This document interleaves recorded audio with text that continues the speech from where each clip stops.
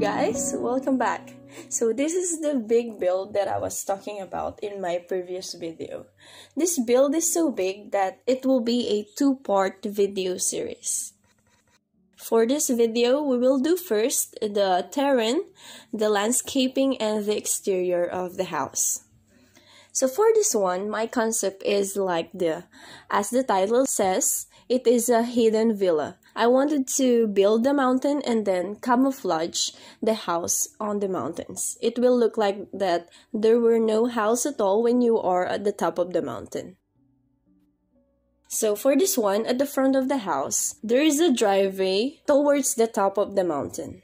Once you were there, you wouldn't see the house. There will be just a pavilion and a parking space on the topmost floor of this house.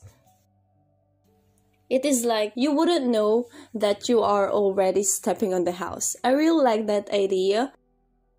In my college days, I really wanted that idea that we incorporated it in our thesis.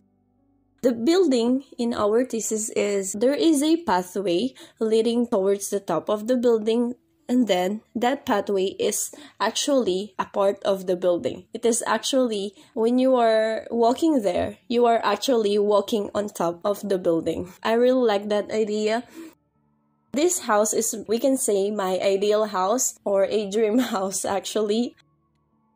As I was searching for cliff houses or green roof houses, I saw this house that is featured on one of these popular TV show somewhere in America.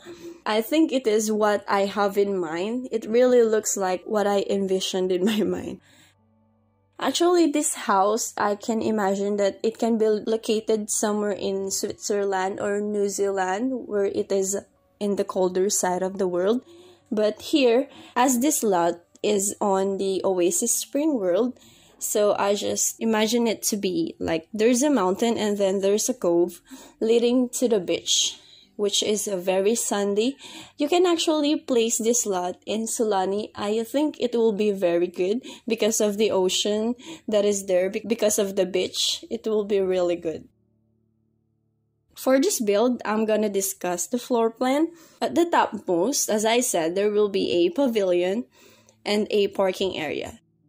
So that pavilion is like the reception area for the office which is on the next floor. We will call it the level 1 and the next others, the next floors will be the level 2 and 3. For the ground area for the topmost part, the level of the driveway, there will be a reception leading towards the office. There are actually two entrances for this house, or actually three. The third one will be the from the other side from the beach. But this one, the first entrance is for the public, which leads to the showroom of the office on the lower floor.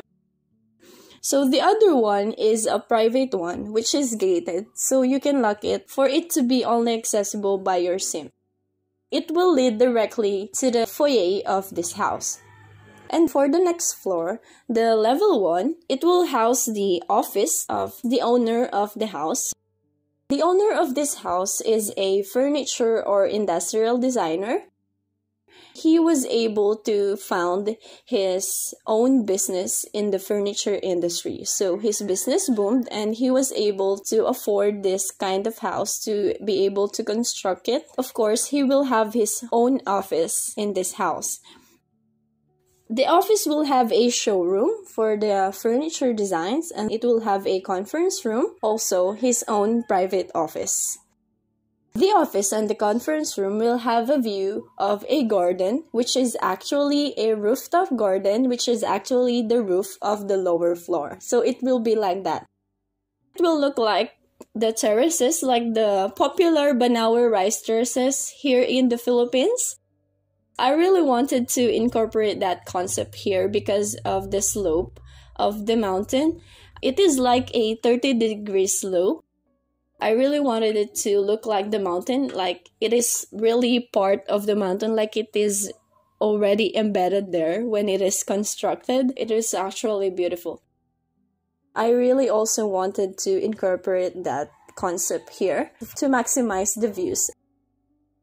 I really wanted to have this kind of louvers thing for the facade of the house. So I looked and I searched for something in the debug items, but I ended up finding this really cool fences i think. They are really elegant looking so i think they can fit in a build that is like a mansion. So i placed them as the fences of this house because i think they have this vibe of a mansion For the level 2, it will be the sleeping area, like the sleeping floor of the whole house. It will have the master's bedroom and then the other two bedrooms. The bedroom 1 and 2 can be a girl's bedroom and a boy's bedroom.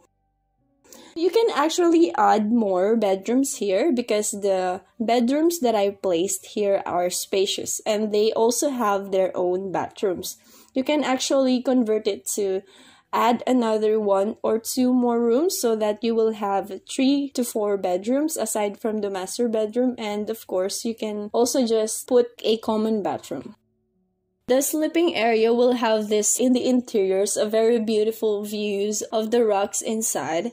So actually when you are inside when you are in the interiors of the house the rocks of the mountains you will actually see them and it will really look beautiful I really wanted it to be like you are really in a mountain, like you are embedded in the mountain. Moving on, on the level 3, this is the main living area of the house. This floor will have the living, dining, and kitchen, and it will also have two guest rooms. The first guest room is actually a big guest room. When the kids have their classmates over or when there is a big party, they can accommodate multiple guests. You can actually put their beds for 10 people, I think. It has its own view of the mountain. And there will be also their own toilet and bath. The other guest room will be for a private guest. It can accommodate two single beds or a twin bed. It will be for a special guest or maybe for the parents of the owner. Can be like that. This one is, I think, is functional in real life. We can say that in the floor plan of this house. For the doors of the lowest floor, I wanted it to open up towards the swimming pool. I made my own kind of folding doors using this floor to ceiling windows in The Sims 4, which turned out really well. I really wanted to open up this space because when there are parties, I think it will really look good. And also, to maximize that open planning kind of thing, which I really like, and also the indoor and outdoor connection, which I always do in the houses that I plan. I have this comment for the doors and windows of The Sims 4. I don't know why The Sims is making doors that don't fit the windows. I here is this door that is really cool, this sliding door, and then there's this window. The window is a floor to ceiling glass window, but then the sliding door, which I wanted it to really fit, doesn't fit. So I just use this door for like medium or tall walls, but it actually exceeded the floor. It is exposed on the upper floor. I just didn't mind it. I'm just gonna cover it up with plants when I am landscaping this build. That's just a downside for The Sims 4. I saw this house in Instagram, the house of the travel vlogger that I am following. It was really beautiful. It is in Bali. It is set in the paradise in Bali, in the middle of a farmland, I think. Her house has this really beautiful vines from tropical landscapes. I really wanted to find something like this here in the Sims 4 base game. I actually found something. I think I saw it in the Jungle Adventure Pack, but I don't have it. I only have the base game. So I searched for something in the debug items. I saw this these vines that have flowers on them, but they are actually dark and so messy for me. This is not what I'm trying to achieve for this landscaping. So as the video progresses, you will see that I eliminated some of it, some of these vines because it was too messy for me because I am also aiming for that clean, slick looking, but still elegant, playful build but I actually like that. this build if it is in real life it will take up much the carbon footprint that we call which is harmful for the earth for our environment. But actually with the green roof design of this it will fill on that. It will regenerate. It will be a solution. I think this is actually an eco-friendly house in my opinion each of the floor, like the level 1 and level 2, will have their own garden, which is actually the roof of the lower floor. We have this massive outdoor area, the outdoor pool, which is leading to the beach. The owner of this house owns that part of the beach, so it is exclusive to them, which I really think is really a dream for the landscaping of the green roof, I have opted for this mixed coastal and tropical and the desert landscaping. It is what the world here shows and it really blends with the mountains. I am really aiming for this almost all green kind of landscaping without the very colorful flowers. I just chose this perennial which is a coastal grass with this less saturated pink on it and this like blue spots on the vines. It really looks good for me. I like unsaturated colors and just neutral colors especially when landscaping. As you will see here that I am already placing these trees on the mountains. I chose these pine trees because I really wanted that twilight feel and I actually have seen mountains, mountains in tropical countries that have this kind of pine trees. I also saw pine trees in beaches here in the Philippines, so I think it is feasible and realistic. But here in The Sims 4, we only have this kind of pine trees. So I just use them. I really like that there is a pine tree from the Willow Creek world, which is a very good looking. It has this perfect cone shape, and then this other pine tree, which is like a withered one with a less saturated green. I think it is from the Oasis Spring World. I like that they pair each other really well. So I just mix and match them here for the landscaping of the mountains. You will see here if you didn't know, there is a trick that I'm doing to place objects and plants and trees on terrains very easily. What you will do first is you put a foundation first on the on the part of the terrain that you want to put an object on and then you place the object. After you have placed it, you will just pull or push the foundation for you to be able to remove the foundation. Or you can just not remove it if it is not visible, if the object that you have placed is covering it. Here, I wanted to eliminate it, but some of the foundations I didn't because they are not actually an eyesore. But for the rocks, you will see that you will have to put a bigger foundation, like a longer foundation with an excess, aside from the objects that you have placed. Because you needed that excess foundation to remove the foundation all around. If you didn't remove the foundation, you will see here that it deforms the terrain. You will not like that you got to have this access to eliminate the foundation later on. You will see it here. And I was really happy that I discovered this trick. I don't think if you know this already, guys, but I was so happy that I discovered this trick by myself because uh, at first I was really struggling to build on turn because it was my first time. It was an achievement for me, really. By the way, these rocks are from the debug items from this Oasis Spring World, if you just don't know. Actually, all of the landscaping or most of the landscaping objects that I used for this build are actually from the debug items, so they didn't add to the cost of this build. And if you also don't know if you will be asking the cars and the other vehicles like this very cool sports car and the pickup trucks are also from the debug items. You can find them if you will turn on the cheats using the control shift C testing cheats true and then you're gonna type BB show live edit objects and BB show hidden objects. And of course, you have to turn on the BB Move objects if you are gonna place this lot in your gallery. You can see the gallery link and my origin ID in the description of this video below. I hope you will like it. And also, this is only the exterior and the landscaping. It is only a shell build, so you can actually go on design your own interiors using the shell.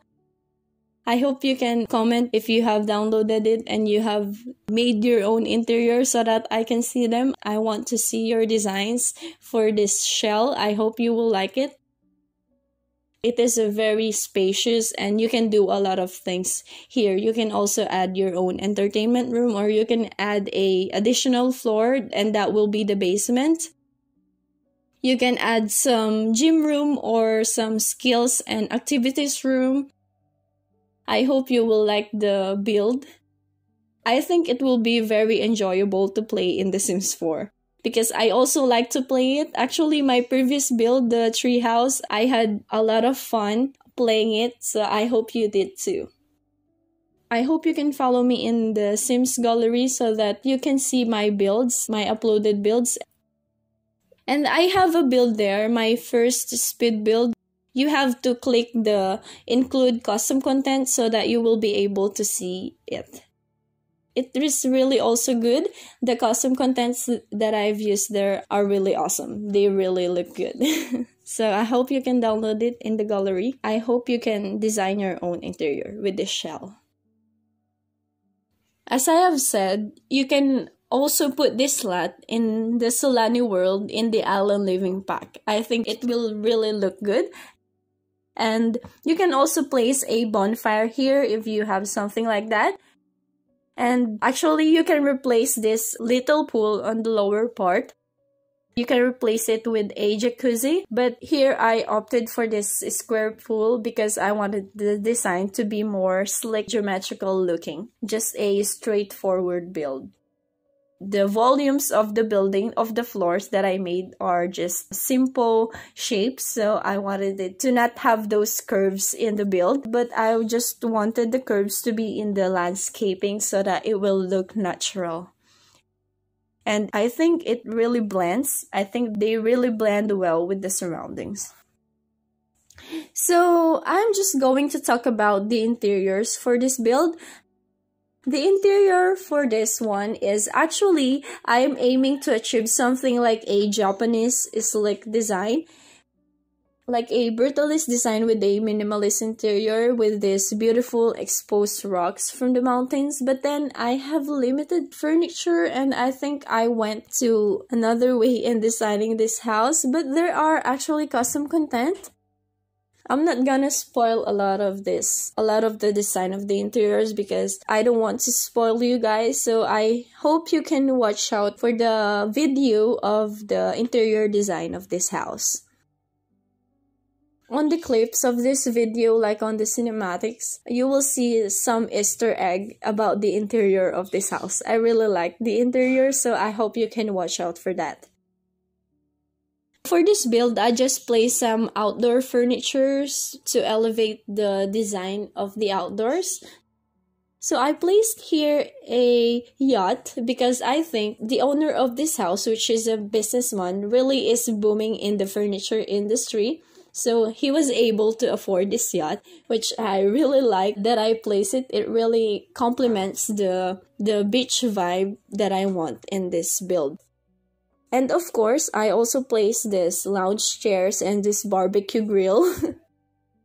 As I said, I really like barbecues and it will be very good for parties and outdoor events or so on in The Sims 4.